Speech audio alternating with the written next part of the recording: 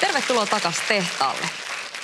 Tämmöisen savikiakon halkasia on 108 milliä, korkeus 14 milliä ja paino 105 grammaa.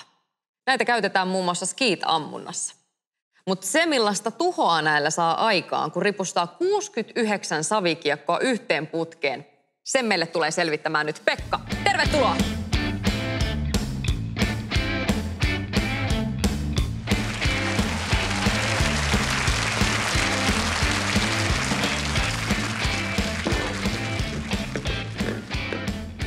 Oikein hyvää iltaa. No terve, kiva olla täällä. Ja Kiva, että oot täällä.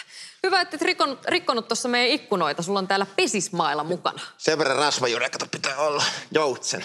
Joutsen. No joutsenia nähtiin äskenkin vähän toisenlaisessa muodossa. Kyllä, kyllä.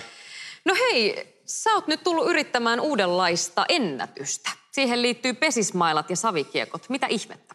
Joo, kato, kun Tokio olympialaisista niitä ei nyt järjestettykään, niin pitää ne kiekot johonkin käyttää. Niin mä ajattelin, että antaa mennä nyt sitten vähän, että jos käyttää haulikkoa, minä käytän pesismailla, se on tasa-arvoa. Kyllä. Onko tämmöisen pieneen kohteeseen vaikea osua?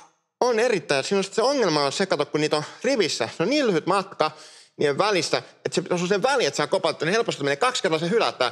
Kun miettii, että kun niitä iskoja pitää tulla enemmän kuin yksi sekunnista ja koko ajan liikkeellä, se on ihan hurju, hurjaa huitamista. No miten sä harjoittelit tätä suoritusta varten? Mä testailin tota kotona siis vanhempia kiittäen. Kiitos ja kumarrusti pyykkitelineessä vähän vedettiin tota, että ja tässäkin on oikein tällainen tarkka tämän mailankin koosta. Jos on liian pitkä maila, se ei ole optimaalinen, koska sun pitää saada niinku korkea, niinku, monta että liian pitkä maila kestää liian kauan. Että sopivan lyhyt maila, sopivan painavalla mailla, että niinku hutkii mahdollisimman nopeasti sillä sopivalla voimalla. Ei liian kevyt eikä liian painavat optimaalin voimat, saa kiekot rikki, mutta ei liikaa tota, niinku winnappia vauhtia, kato. Mm, just näin. No oliko sulla joku tavoite itselläsi, kun sä lähdit tekemään suoritusta? Joo, kyllä mä ajattelin, että jos lyönnin per sekuntia saisi, niin se on kato 60, 60 kerho, niin se olisi hyvä, niin toivottavasti meni rikki. Tai mitä mä oon nähnyt, niin vähän samanlainen nyrkillä on vedetty Kuinnesin maailmanennätys 62 kiekkoa tota, minuuttia, mutta jos mä saan yli 62, niin siitä minä nauttisin todella paljon. No niin, no eiköhän lähdetä selvittämään, miten miehen kävi. No katsotaan, kurkataanpa siitä.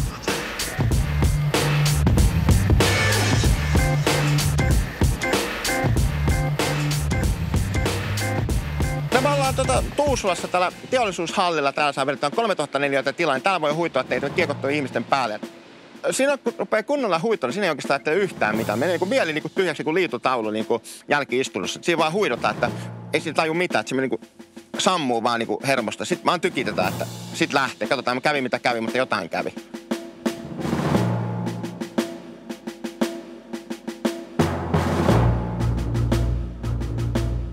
No ennen ennätystä on semmoinen tsemppaus ja valmistautuu, että ensinnäkin porukka teippaa tuolla ne tekee sen koman työn, että mä teen sen niin näytöksen siinä sitten, tota, että kunnia heille. Ja sitten henkisesti valmistaa, että virtaa, että nyt kyllä lähtee, kato. Tavalliset kiekothan on myrkyllisiä. Nämä on myrkyttäjien pitää hommata niin sanottu ekokiekkoja. Kiekothan on niin sirkkeleitä lentää. Pitää olla suojavarusteet totta kai, ettei silmät mene ja muuta paikat hajoa paikat voi revästä, että siinä pitää niin järkevästi vetää, että ei kannata niin kuivaa sitruunaa puristaa itsestään liikaa, vetää sen sopivasti ja tiukasti, mutta ei vaan kaadu. On nilkka mennyt, pitää olla tarkkana sen huitamisen kanssa. Huitaminen on raaka laji.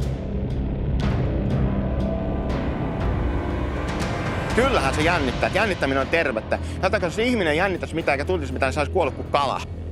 Maalimaan kansalaiset, minulla on Y-voima! Supersankari ja alteri Ekoni on Y-mies, niin sillä lähtee. Eikä tässä mitään voi muuta sanoa, että voima kertaa aika on impulssi, mikä tekee liikemäärän muutoksen massa kertaa nopeus. Eli mitä enemmän massaa, sitä enemmän nopeutta, sitä enemmän kolahtaa. Niin sitä pitää tänään lukea hakemaan tästä rasvamoukarin ja korson tanun. Sillä lähtee.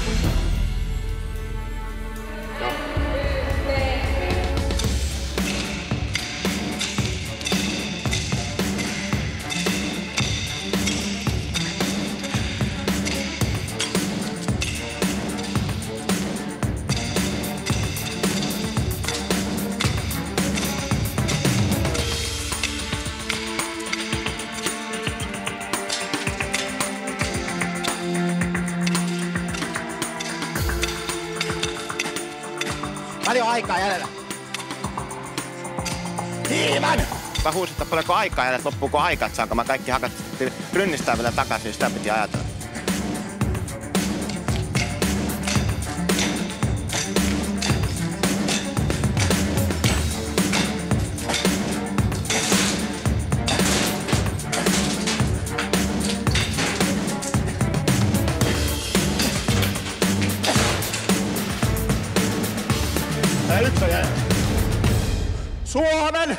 Supermies.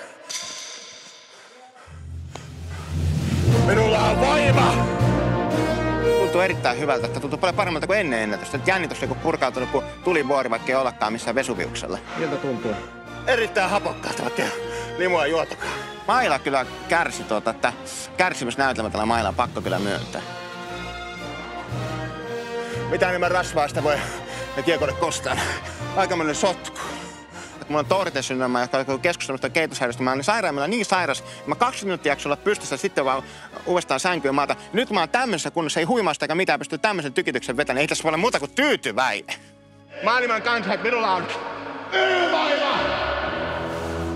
Nauttikaa elämästä. Elämä on, niinku, elämä on niinku mukava, että ottakaa sitä iloa irti. Kiitos ja kumarrus.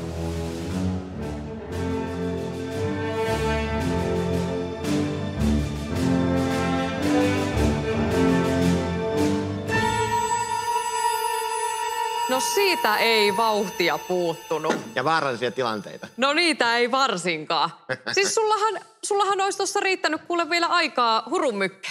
Kyllä, mutta täytyy siivoa ja armahtaa, kato. Talkoa työtä, kato. Ihan mahtavaa. Hei Pekka, sä oot tehnyt uuden ennätyksen. Kaikki savikiekot rikki minuutissa. Kiitos paljon. Ja nyt se on tehty, niin tämä on elämän päätavoite. Ihanaa. Hei, tuhannet kiitokset Pekka, että tulit vieraaksi tehtaalle. Ja oikein paljon onnea vielä. Kiitos. Kiitos.